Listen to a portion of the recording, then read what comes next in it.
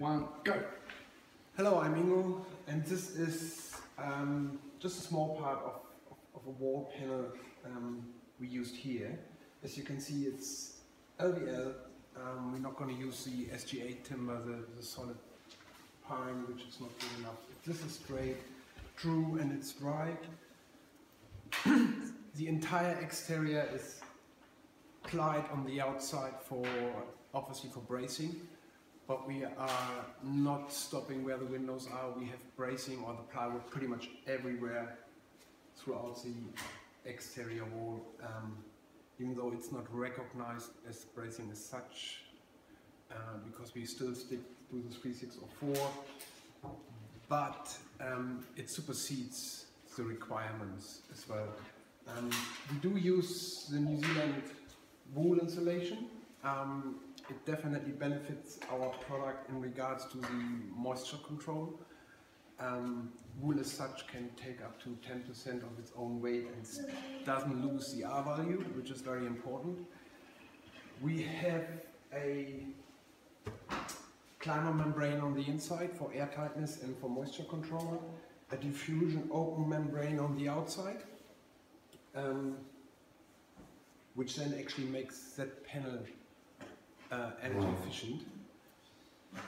The panel size can go up to 12 meters, so we are not talking about short panels. Um, pretty much the longest panel we have in here, let me just guess, I think is on the outside, which is a 10 meter long one over there.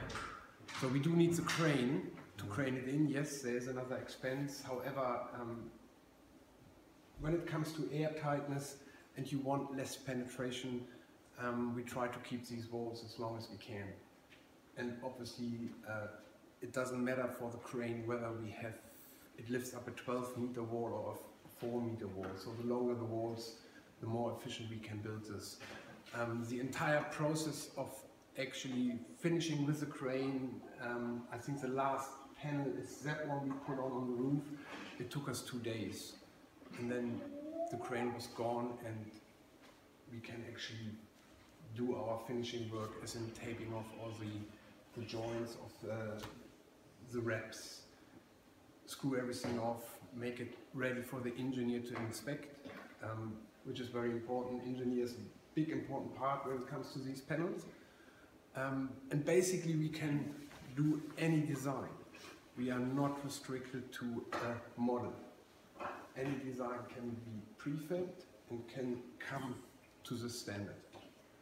And another benefit of this kind of wall structure is it does meet passive house criteria when it comes to a certified uh, passive house from here up to Wellington.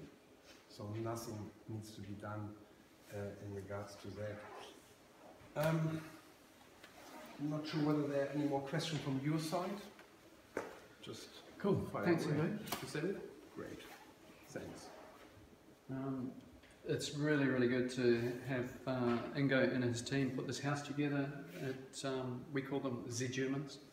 So we're learning how to build better in New Zealand, and uh, it's kind of long overdue. So you've done a great job. Thank you very much, Ingo. You're welcome. So um, just to finish off this, this panel here, the key thing about it is the, the really the air tightness in the membranes. So the air tightness means, like Ingo said, this is an energy efficient wall. So if we're not leaking air, we've got less heating requirement. But also because of the fact that it's a vapor control membrane on both sides, we're not allowing moisture to get into the wall, which in New Zealand homes can be a problem. Um, and we can actually get mould growing in the walls in relatively new houses. So, which is a bad thing, it's a health issue. So, um, the thing about uh, airtight house is you've got to have a ventilation system. So in this house here, we've got a ventilation system which um, is continually changing the air, taking the stale air out and delivering fresh air. So can anyone see where that ventilation is coming in in this house? It's a trick question. It's hidden. So we've got no roof cavity. So this is our roof um, construction here. So there's no attic space or, or um, cavity space in the roof. So uh, instead of having the ventilation going through the roof, we've got a concrete duct going through the floor, and fresh air comes out underneath this island bench here. And um, there's a um, heat recovery ventilation unit sitting in the laundry and the, above the ceiling. So having the services cavity is really good. So in this house we've got flat rectangular air ducts which are hidden in that wall services cavity on the inside. So um, as well as having our electrical and plumbing in there so we're not penetrating the air tightness of the wall. Um, so yeah, and we're basically we're taking stale moist air from the um, bathrooms and um, laundry and toilet and um, delivering fresh air to the bedrooms and the um, living space. so we've got a really good quality of air and we're extracting any of the nasty um, gassing off from materials and things which um, uh, yeah, in this house we've got less of that anyway because we're using good, um, environmentally sound, certified materials wherever possible. But you know, if you go into a new house, and you have that new house smell. That's not good a lot of the time because um, if you can smell that, then the air quality is not very good for humans. So um, really nice, high quality air, and that's something that's not really considered in the New Zealand code. Actually, air tightness isn't isn't part of the New Zealand Building Code either. There's no standard at all for air tightness, whereas overseas um, there is a standard for, for that. So the other um, clever, tricky thing is this. So we've got a um, downdraft, um, so that sucks out the um, cooking vapours, and um, so it's not connected up yet, but there's a fan on, on the other side of this wall, there's a fan unit, which the duct will be connected down to here, going through the floor.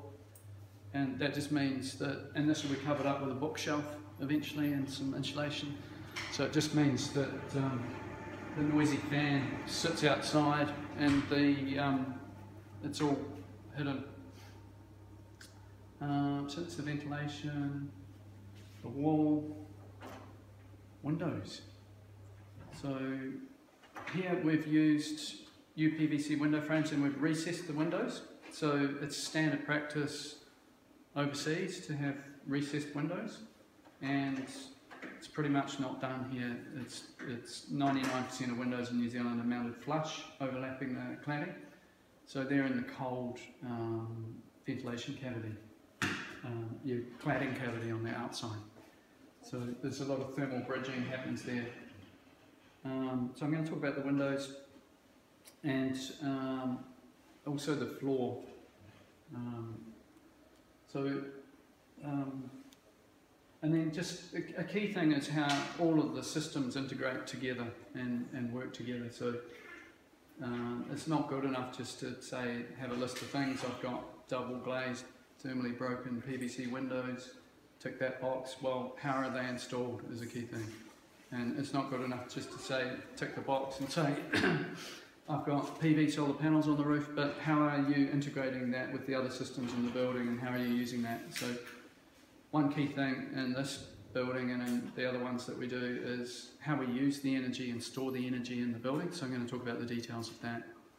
And um, we're only doing heating of the hot water and the um, space while we're generating power and storing it in the thermal mass.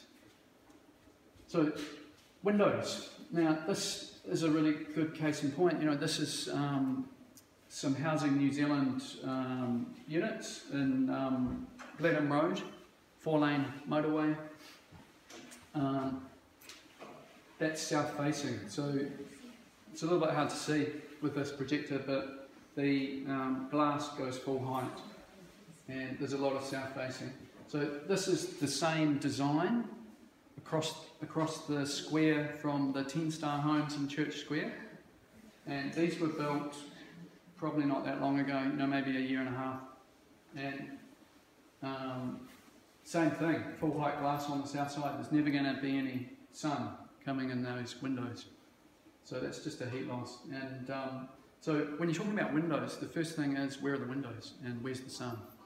And um, you know, the age-old principle of architecture: the sun rises in the east and sets in the west. You'd think it's pretty straightforward, but obviously not. The, we're still building lots of houses like this, and um, you know that house there. There's plywood in the window. There's mouldy curtains that are tied up. Um, there's rubbish in the front yard. Uh, the bins are there, um, weeds, and um, that's a new house. So we call that um, the new slums. And that was opened by John Key, and he raved about how good it was. And it was written up in the press as being the latest and greatest thing. So basically, we're building to building code, and um, that's our target. So almost all houses in New Zealand are built to code, and I say the, the code describes the worst house that you're legally allowed to build. And um, that's what um, everybody's aspiring to. That's the target. So it's three stars on the Homestar scale. Um, this house here, it's probably a high eight or a nine because we haven't done some certain things like the grey water recycling, etc., that we did in the 10 star home. But I, um, I call it the 11 star because we've got better walls and we've got a better thermal envelope and we've done a few things that are basically the next advancement on from the 10 star home.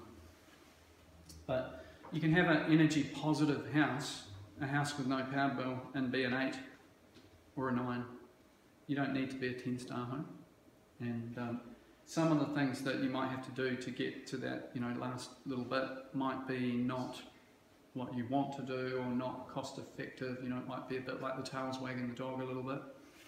Um, so, and maybe different people have different priorities too. So you've got to think about what's right for you. You know, for some people, they might really want to take the water and recycle it. Um, every house we do, we collect the rainwater. So this house here, we haven't got the tanks here yet, but we are going to be collecting the rainwater uh, because that's cheap and easy to do, and it makes complete sense. So. Um, yeah, so this house here is my own house, which um, we learnt quite a lot on that because we were the client and we were able to do what, whatever we wanted. And um, there was a lot of innovations in that house, low E glazing. Um, I just chucked this into my, this is my presentation that I used for the Queenstown launch on Wednesday and um, I just chucked this in there because um, Frank Gehry is not wrong and no more so than in New Zealand, um, because the rest of the world is doing much better than us. So um, he, he's, you know, everybody knows Frank Gehry. Right? He's a renowned American architect.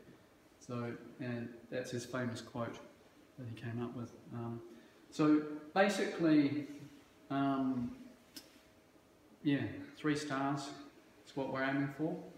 And Christchurch City Council has tried to implement six as a minimum standard. New Zealand government said, no, you can't do that. So building code is where it's at, and we're possibly about 20 years behind a lot of other countries, and probably 30 years behind if you look at how we're doing Windows.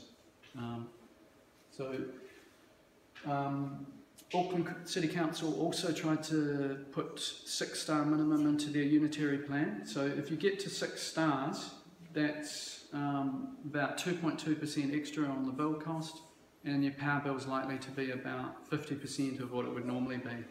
So it's kind of the sweet spot.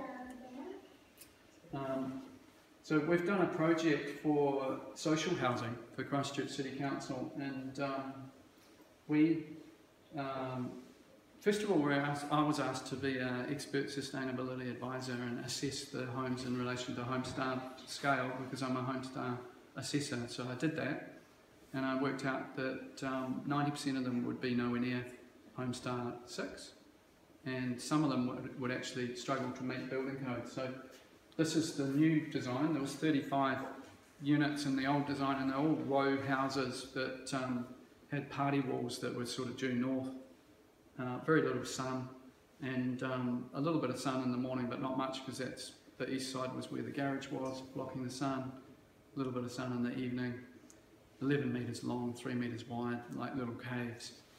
So after I told them the bad news on that, they asked me to redesign it. So um, we redesigned that and we increased the yield for the site. So we fitted, it was an infill site, which is good because greenfield subdivisions are not very sustainable. And um, it's quite a difficult task, but we got an extra four dwellings, so we ended up taking it from 35 to 39 houses, um, some of them multi-unit, but all the houses had all-day sun, and almost every room had all-day sun. And that's really the key, designing for the sun and then capturing the heat energy or utilising it via solar and storing it in the thermal mass of the building. Um, so that one there we actually used um, the 10 star home for one of the homes, or two of them actually, because there's one where we had a big tree, where we, we had a big site, and then there was um, in this block of 10 multi-unit ones. So an energy efficient house can be whatever, like Ingo says, you know, it can be whatever you want it to look like. Um, so there's different sort of looks and design typologies. So this house here is a good example because this is a small compact house and again every single room, east is here, west is there, it's all north facing, every single room gets sun. Even upstairs there's two bedrooms and two bathrooms, they all get sun. So, has anyone been through this house in Church Square? This is the 10 star home. There's two 10 star homes, so there's a two story one and a single story one. And you're welcome to grab one of these. There's, I think there's more in the drawer, but that's the last one in there. But there's the plans for the house. If you're really interested in, in this house, it's open the first Saturday of every month at 11am for a guided tour to look through. Um, so I'm probably not going to talk in detail about that. There's 30 innovations in this home that are not done in group home building company homes. And um, some of them actually don't cost any more to do. Some of them are actually cheaper. So the wall framing we did slightly different from this, but it's actually cheaper because there's less timber and there's more insulation.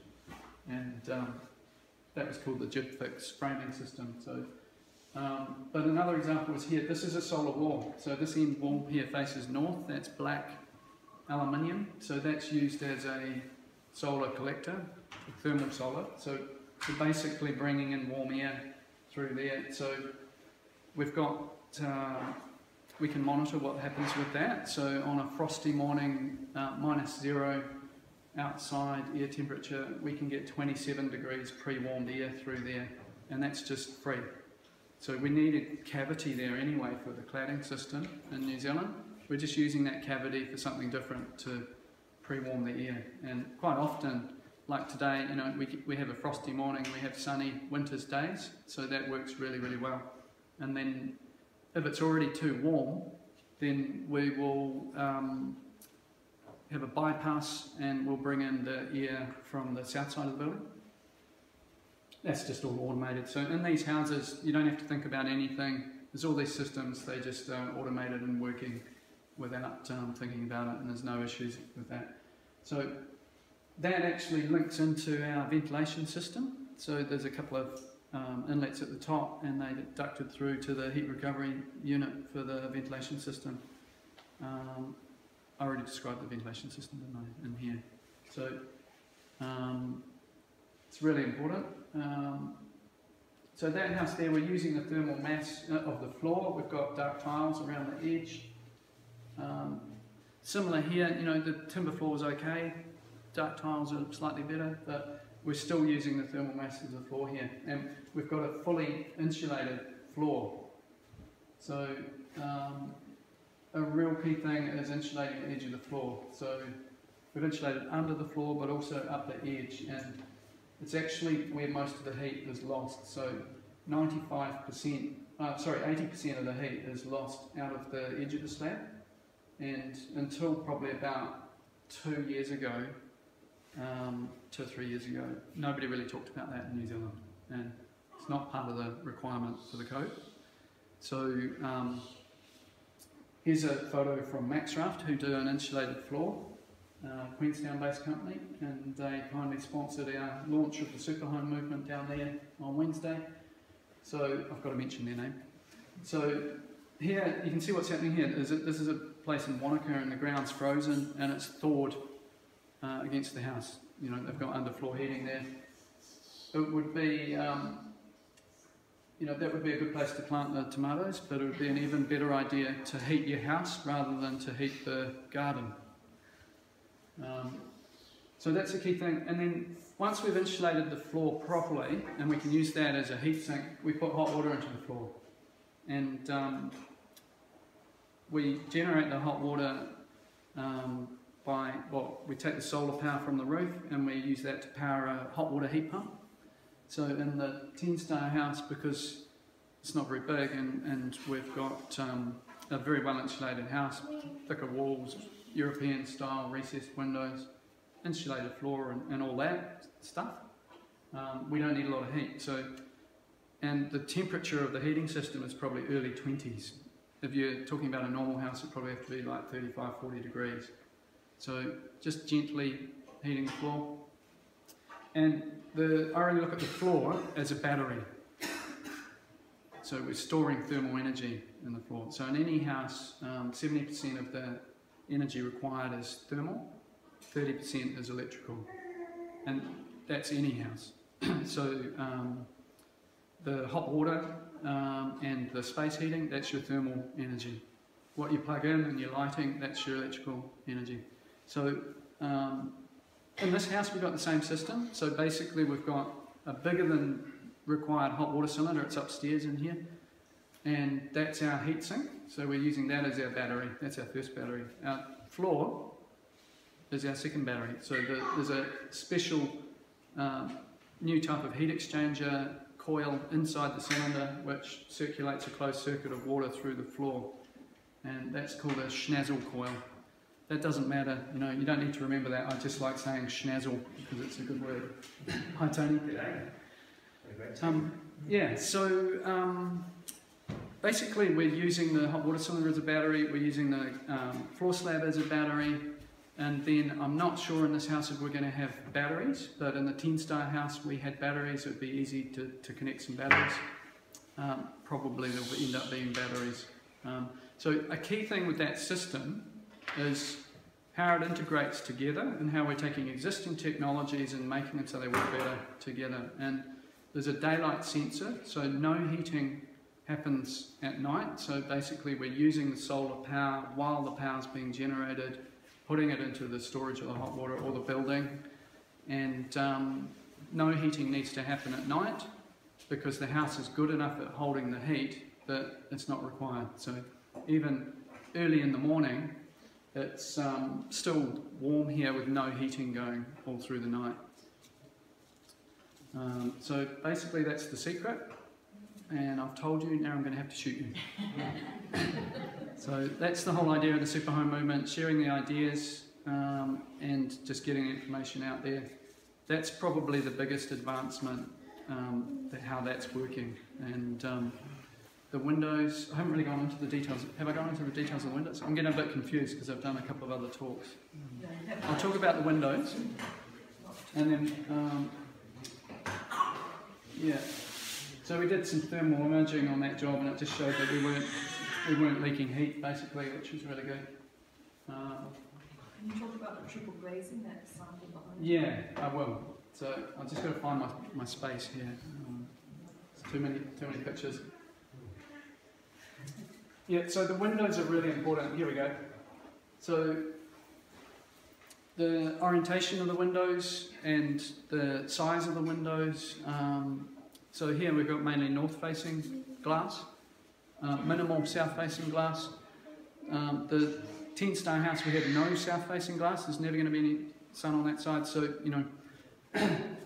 um, and then recessing the windows is a key thing. So it's standard practice overseas, and it's it's pretty much pretty much not done here because we follow the New Zealand Building Code detail. So just before I talk about the, what are the windows, um, yeah. So I mean, there's other things to consider other than heat loss too. So in this house here, we've got um, we've got high level windows and we've got a nice quality of natural light coming in here. Um, you might have a situation where you've got a site with a nice view and what happens if that view is to the south?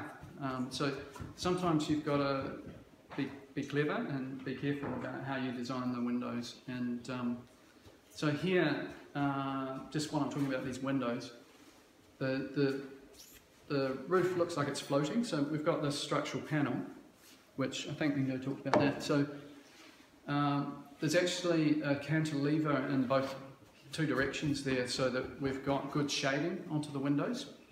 So that's important. So you can have a warm house, we think relatively easily. A lot of the time it's more difficult to keep the house cool. So while this house was being built in, summer, there was a day where it was about 33 degrees-ish. And even with no linings on, and I think there was no front door either, it was 19 degrees inside this house. So it's doing a really good job of keeping cool in summer because we've got a big overhang on the roof and, and um, where we need it. So there's no overhang on the south side, big overhang on the north and the um, west.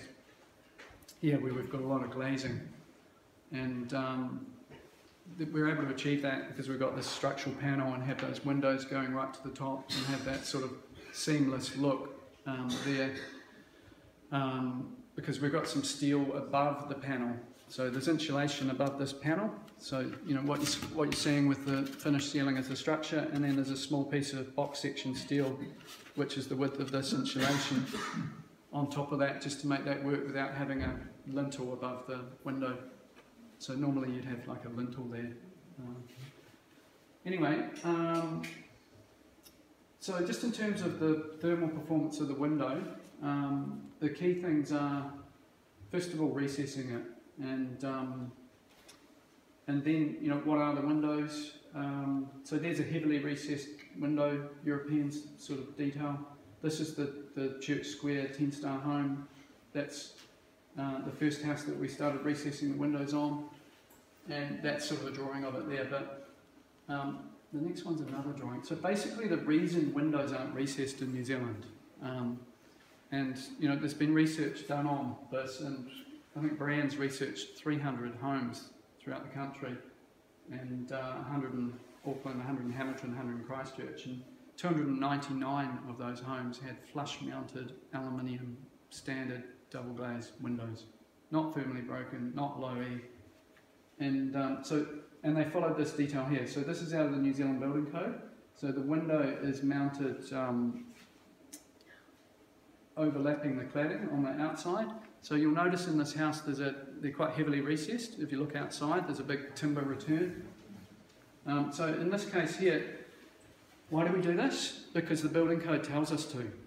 And people are um, scared of liability for, you know, that leaks, leaky building syndrome.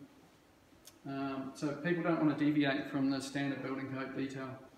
And that is a problem because here, being in this part of the, you've got your aluminium window here, you've got a big chunky piece of aluminium sitting underneath it, which again is a big heat sink or cold sink, as the case may be. And here, there's a channel in this aluminium window at the bottom. Has, has anyone ever noticed there's a channel in the bottom of the aluminium windows? The graveyard for dead flies and for mould together. So that's for the condensation that runs down the window. And um, and if you don't wipe that off, like a lot of people have this ritual of wiping the windows down every morning, um, but if you don't do that, then the condensation can drain out the holes that they've drilled through that bottom of that aluminium channel. So you can do a nice warm house with better floor, walls, roof insulation. You've still got holes drilled through aluminium going out to the cold air in 99% um, of New Zealand homes, sadly. So that's not good. So we recessed the windows. They're UPVC frames, non-conductive, much better than aluminium, and they're sitting on the structural timber frame. Um, way better idea.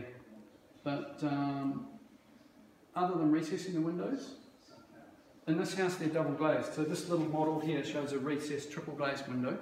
Triple glazing is very expensive in New Zealand. That's standard in Europe. And um, it's actually more expensive for double glazing because they don't do it. So here we're not set up to do triple glazing, so um, it's very expensive. Last info I had is because we're going to have a certified passive house project up in close to Rangiora, and the last info we got in regards to those windows is that neither Metro Glass nor Meridian is doing triple glazing anymore. Yeah. They completely said it's not the market here. So if you do want to have triple glazing, you need to have a look overseas. Yeah. They're not doing it. Exactly. So you can import triple glazed windows much cheaper than what they're available in New Zealand. But um, um, yeah, so the best we've got here is double glazing, but there's double glazing and there's double glazing. So these are double glazed windows, but they're about four times as good as new, your sort of typical double glazed windows. So um, first of all, the thing is the spacer between the glass. So all of the major glazing companies give you a piece of aluminium there, and that is a thermal conductor. So plastic, it's called a Thermix spacer, or the latest one's called a super spacer. Uh, I like that name. and um, PVC frames, I've talked about that. Low E, okay, 30% better performance through using low E, and there's three levels of low E. So we chose the best one here, low E XL. Argon gas, 10% better performance, um, but it's cheap, so we do it as a matter of course. It's just a gas that's injected into the, the um, double glazing unit. And um, so, in terms of R value, we're around about um, three times as good, but because we're recessing the windows, I think we're about four times as good. So, typical um, aluminium windows 0.26, a, a normal PVC wi- window is 0.53. These are 0.7, um, but I think they're probably much better than that because we've recessed them. Uh, that's the windows. Any questions? Have I forgotten to talk about anything, Beth? You've heard me talk about this three times already. So, um, so I'm happy to, to answer any questions if, if there are any questions. The PVC framing, have they got over the UV damage to? Um, I think that's an urban myth. Um, the material that the windows are made out of doesn't de- degrade in New Zealand UV, so um, it's completely different composition to the um, Marley rainwater gutters that get brittle and break from the past, and it's got titanium dioxide in, in there. Um, so it's it's probably a more similar material to what you see on your car um, bumpers and mirrors and things. And in actual fact, 80% of the windows made overseas are PVC. New Zealand, 95% of the windows are aluminium. Yeah. I think they did a long-term study uh, on top of the art on the highest building in Europe, which is a PVC window uh, building as well, and they did a long-term study for 20 years.